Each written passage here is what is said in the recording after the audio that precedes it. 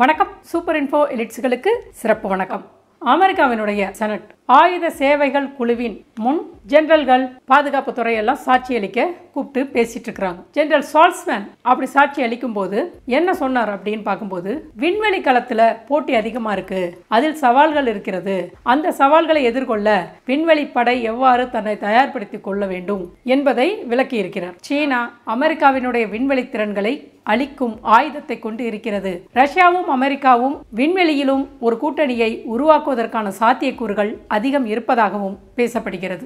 இது காலப்போக்கில் ஸ்பேஸ் நேட்டோவை உருவாக்குவதற்கான ஒரு வாய்ப்பையும் வழங்கப் போகிறது. விண்வெளி அச்சுறுத்தல்களை விவரிக்கும் போது இரண்டு வகைகளை கணக்கிடுவது முக்கியம் என்று கூறியிருக்கிறார். முதலில் விண்வெளி சொத்துக்களிலிருந்து அச்சுறுத்தல்கள் மற்றும் இரண்டாவது விண்வெளி சொத்துக்களுக்கான அச்சுறுத்தல்கள். விண்வெளியிலிருந்து வரும் அச்சுறுத்தல்கள் சீனா மற்றும் ரஷ்யாவினுடைய வலுவான விண்வெளி அடிப்படையிலான திறன்களை உள்ளடக்கியதாக இருக்கிறது. அவை அமெரிக்க இராணுவ படைகளை தரையிலும் கடலிலும் மற்றும் வானிலும் கண்டுபிடிக்கவும் குறிவைக்கவும் மற்றும் தாக்கவும் அனுமதிக்கிறது. சிம்பிளா சொல்லணும்னா அமெரிக்க படை ஓடவும் முடியாது ஒளியவும் முடியாது அப்படிங்கிற ரேஞ்சில் சீனாவும் ரஷ்யாவும் வைத்திருக்கிறது. சீனா மற்றும் ரஷ்யா ஆகிய இரண்டும் அமெரிக்க விண்வெளி திறன்களை இலக்காக கொண்ட பலவிதமான ஆயுதங்களை உருவாக்கி களமிறக்கி நிலைநிறுத்தி வருகின்றன அப்படின்னு ஜெனரல் கூறியிருக்கிறார். அமெரிக்க விண்வெளி திறன்களுக்கு அச்சுறுத்தல்களின் ஸ்பெக்ட்ரம் அது எப்படி நீளுது அப்படின்னு பார்க்கும்போது சைபர் போர் நடவடிக்கைகள் மின்னணு தாக்குதல் தளங்கள் செயற்கைக்கோள் சென்சார்களை சேதப்படுத்துவது அல்லது இருட்டடிப்பு செய்வதற்காக உருவாக்கப்பட்ட ஆற்றல் லேசர்கள் செயற்கைக்கோள்களை அழிப்பதற்கு தரையிலிருந்து சுற்றுப்பாதையில் ஏவுகணைகள் மற்றும் விண்வெளியிலிருந்து விண்வெளிக்கு சுற்றுப்பாதை ஈடுபாடு அமைப்புகள் ஆகியவைகள் எல்லாம் அடங்குகிறது. விண்வெளியில் அமெரிக்க செயற்கைக்கோள்களை கூட சீனாவாலும் ரஷ்யாவாலும் தாக்கக்கூட முடியும் என்கின்ற சூழல் இப்போது இருக்கிறது. வெளிப்படையாக கடந்த இரண்டு ஆண்டுகளில் சீனாவும் ரஷ்யாவும் ரெண்டாயிரத்தி பதினைஞ்சிலிருந்து ரெண்டாயிரத்தி பதினெட்டு வரை. விண்வெளி இருப்பில் ஏற்கனவே ஈர்க்கக்கூடிய மூன்று மடங்கு அதிகரிப்பை தொடர்ந்து சுற்றுப்பாதையில் இருக்கின்ற சொத்துக்களை எழுபது சதவிகிதம் விரிவுபடுத்தி இருக்கிறார்கள் நிச்சயமாக அதன் வளர்ச்சியின் பெரும்பகுதி பொதுமக்களுக்கு உரியதாக இருக்கலாம்.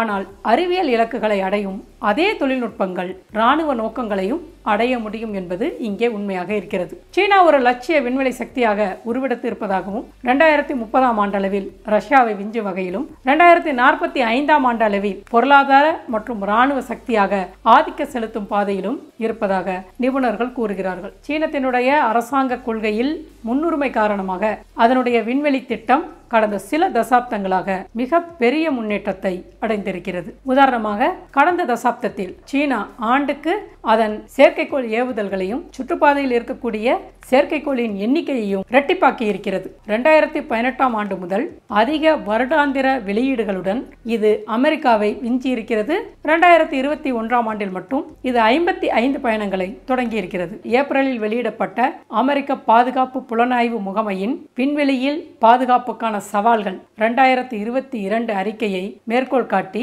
ஜெனரல் பேசும்போது சீனாவும் ரஷ்யாவும் விண்வெளி படைகளை நிறுவவும் விண்வெளி ஆயுத திறன்களை விரிவுபடுத்தவும் மிகப்பெரிய முயற்சிகளை மேற்கொண்டிருக்கிறார்கள். விண்வெளியில் இராணுவமயமாக்கலுக்கு பங்களித்திருக்கிறார்கள். இரு நாடுகளும் செயலில் எதிர் விண்வெளி திட்டங்களை கொண்டிருக்கிறார்கள் மற்றும் வலுவான திறமையான விண்வெளி சேவைகளை உருவாக்கியிருக்கிறார்கள். ரெண்டாயிரத்தி இரண்டாயிரத்தி பத்தொன்பதாம் ஆண்டின் தொடக்கத்திலிருந்து சீனாவும் ரஷ்யாவும் குறைந்த மற்றும் உயர் சுற்றுப்பாதையில் எதிரி செயற்கைக்கோள்களை வீழ்த்தக்கூடிய செயற்கைக்கோள் எதிர்ப்பு ஆயுதங்களை உருவாக்கி சோதனை செய்து பார்த்திருக்கிறார்கள். ரெண்டாயிரத்தி பதினைந்தாம் ஆண்டு ஸ்ட்ராட்டஜிக் ஆதரவு படையை பிஎல்ஏவினுடைய ஒரு சுயாதீன கிளையாக நிறுவியதிலிருந்தே சீனத்துடைய நோக்கங்கள் சந்தேகிக்கப்படுகின்றன. எதிர்காலத்திற்கான தகவல் மயமாக்கப்பட்ட போர்கள் என்று சீனா அழைப்பதை எதிர்த்து போராட அமெரிக்காவினுடைய விண்வெளி போருக்கு இது ஒரு உத்வேகத்தை அளித்திருக்கிறது. ரெண்டாயிரத்தி பதினெட்டாம் ஆண்டில் ட்ரம்ப் நிர்வாகம் இதனை புரிந்து கொண்டுதான் முதல் புதிய ராணுவ கிளையை உருவாக்குவதற்கான காரணத்தை கண்டறிய வழிவகுத்தது. யுனைடெட் ஸ்டேட் ஸ்பேஸ் ஃபோர்ஸ் அப்படிங்கிறத உருவாக்கியது. நிச்சயமாக விண்வெளியில் பயணம் செய்யும் அனைத்து நாடுகளாலும் நீண்ட காலமாக விண்வெளி ஆயுதமாக்கப்பட்டு இருக்கிறது சீனாவை மட்டும் நாம் குறை சொல்ல முடியாது. அமெரிக்கா என்னெல்லாம் செஞ்சிச்சோ அதையெல்லாம் சீனா தொடர்ந்து செய்கிறது. அமெரிக்காவிற்கும் சோவியத் யூனியனுக்கும் இடையிலான பனிப்போரின் போது முதல் செயற்கைக்கோளான ஸ்புட்னிக் ஒன்று சுற்றுப்பாதையில் நிலைநிறுத்தப்பட்ட உடனேயே விண்வெளி ஆயுத போட்டி தொடங்கிவிட்டது என்றுதான் நாம் எடுத்துக்கொள்ள வேண்டும். இருவருக்கும் இடையிலான இந்த பந்தயத்தின் தாக்கங்கள் பற்றிய அச்சம் ஐநாவில் எதிரொலித்தது. அதனால ஆயிரத்தி தொள்ளாயிரத்தி அறுபத்தி ஏழுல விண்வெளி ஒப்பந்தத்தை உருவாக்க வழிவகுத்தது. அந்த விண்வெளி ஒப்பந்தம் என்ன சொல்லுது? விண்வெளி மற்றும் அந்த செயற்கைக்கோள்களில் வெகுஜன அழிவு ஆயுதங்களை வைப்பதை தடை செய்கிறது. ஆனாலுமே வழக்கமான ஆயுதங்கள் குறித்து அது மௌனமாக இருக்கிறது.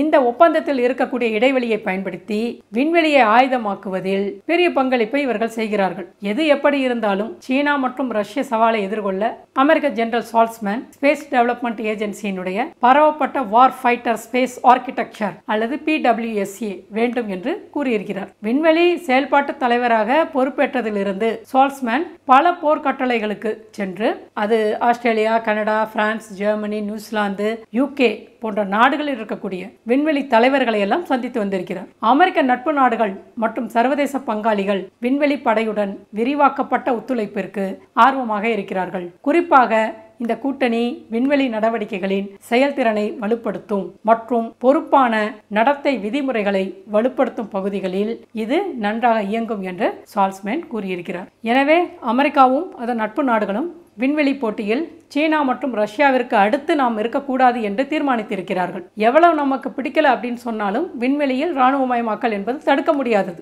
அதனால இவர்கள் என்ன செய்ய போகிறார்கள் என்றால் நேட்டோவிற்கு பிறகு அடுத்த மூவ் விண்வெளி நேட்டோவாக பல நாடுகளை இணைத்து இவர்கள் பணிபுரிவார்கள் என்று தோன்றுகிறது. ரஷ்ய சீனா கேம்ப்ல ஒரு சில நாடுகள் போய் சேரும். அமெரிக்க ஐரோப்பிய நேட்டோ நாடுகளினுடைய குழுவில் ஒரு சில நாடுகள் போய் சேரும். அந்த விண்வெளி நேட்டோவில் இந்தியா என்ன செய்யும்? இது குறித்து கமெண்ட் பண்ணுங்க. அடுத்த பதிவில் நாம் சந்திப்போம். நன்றி.